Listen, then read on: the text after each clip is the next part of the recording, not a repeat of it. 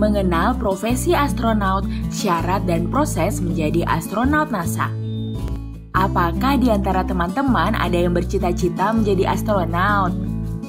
Astronaut bisa bekerja di NASA atau Badan Antariksa Amerika Serikat, di ESA atau Badan Antariksa Eropa, atau bisa juga di LAPAN atau Lembaga Antariksa dan Penerbangan Nasional milik Indonesia.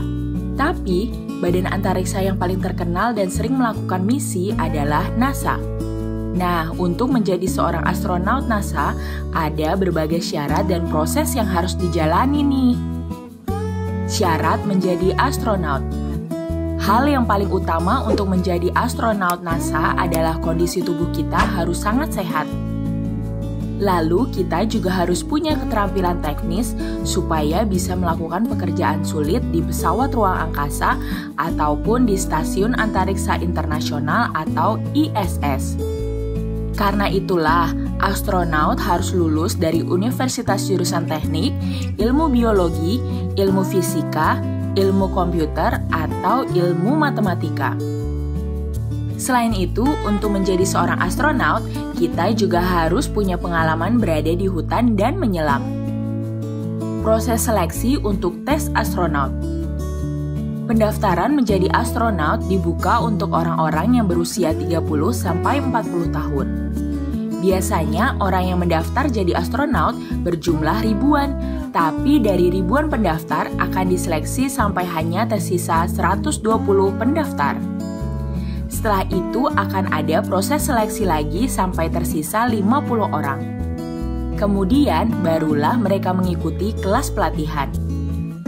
Di kelas pelatihan ini, calon astronot diberikan materi, baik itu tertulis maupun praktik.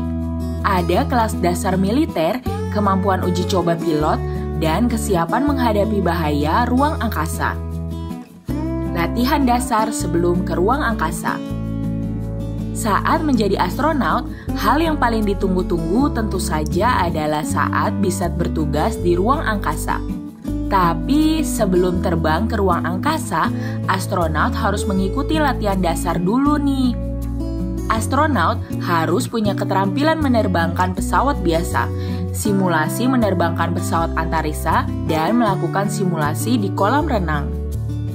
Astronaut juga belajar bahasa Rusia karena akan banyak bekerja sama dengan astronaut dari Rusia yang disebut kosmonot. Kalau sudah dinyatakan lulus latihan dasar, barulah astronaut bisa pergi ke ruang angkasa termasuk ke ISS. Nantinya, astronaut akan pergi menggunakan pesawat antariksa Soyuz milik Rusia atau SpaceX milik NASA. Di ISS, astronaut akan melakukan berbagai misi yang sudah ditugaskan. Tapi tugas astronaut tidak hanya bekerja di ruang angkasa, astronaut juga harus melakukan berbagai misi lainnya di kantor astronaut yang ada di bumi. Wah, ternyata menjadi astronaut itu harus butuh perjuangan yang besar ya. Maka itu, kita harus belajar dengan rajin dan semangat supaya bisa mencapai cita-cita. Sampai di sini dulu ya videonya. Jangan lupa like, komen, subscribe, dan share ke teman-teman lainnya ya kids. Bye-bye!